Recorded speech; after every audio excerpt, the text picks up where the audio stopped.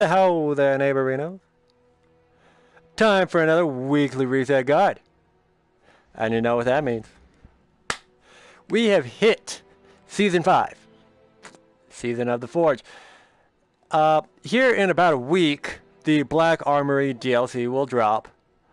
Uh, this is the very first DLC that comes with the annual pass that some of you may have purchased when you got Destiny, when you got Forsaken.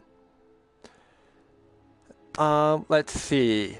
Comes a whole new range of things to do and earn. Time of the Outlaw is over. Season of the Forge has begun. Shaxx has reset glory and valor ranks for all Guardians. So prove your mettle once again in the Crucible. Drifter has reset all infamy ranks and beckons Guardians to follow him down a different path. And there are new triumphs to unlock, new rewards to pursue, and a brand new en bright engram full of surprises. Annual content pass stuff begins with the release of Black Armory on December 4th, which is in. Let me check my watch. By the looks of it, that would have to make it next Tuesday, isn't it? Season of the Forge Annual Pass. Okay. So, as I'm sure you've learned, that Dawning, Iron Banner, and Weapon quests are going to be free for you, regardless of whether you have actually purchased the annual pass or not. And in in this, you receive in this annual pass, apparently there are forges, a raid lair, and missions. No stories, but well, no story missions, but still new. Um, she still wants you to co collect 5,000 XP for your clan. She still wants you to collect to complete your 20 bounties.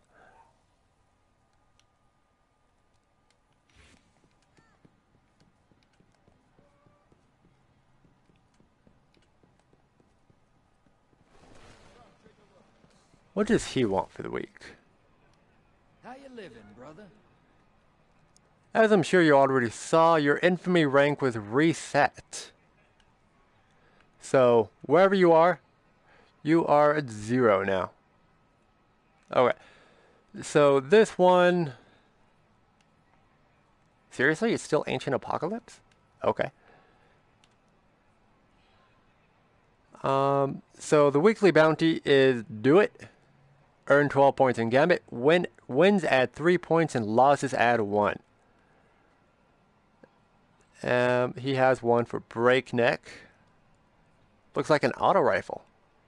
500 auto rifle kills, 100 multi kills, 150 challenging enemies, and 40 matches. Um, depending on how much you play, that could be anywhere from one week to the entire season. But that's what you'll get the breakneck auto rifle. Up. Okay, so the flashpoint this week is on Titan.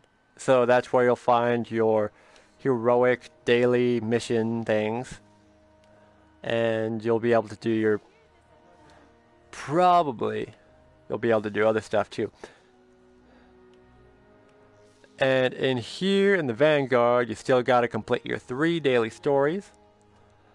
Complete your strike and complete strikes as the same subclass. And of course, do your Nightfall stuff. The Nightfalls for the week are the Warden of Nothing, Hollowed Lair, and Savathun's Song. So if you still need to complete those challenge, those triumphs, like I know I do, then now is your week to do that. Of course, there is still the Gambit requirements. So complete one for the day or three for the week. And in Crucible, ooh, is that? It's lockdown. Yay! So basically, if you're able to get a power play in this game, in this, in this game type, then you win. End of story. And it is 4v4 as opposed to your typical control, which is at 6v6. As I'm sure I already touched on in the beginning of this video, your all of your Crucible ranks were reset be it glory, or Valor. Yeah, Valor. So whichever one you're working on or want to work on for the missions or bounties or whatever, all of that was reset. So let's check out what the spider has this week, shall we? Okay.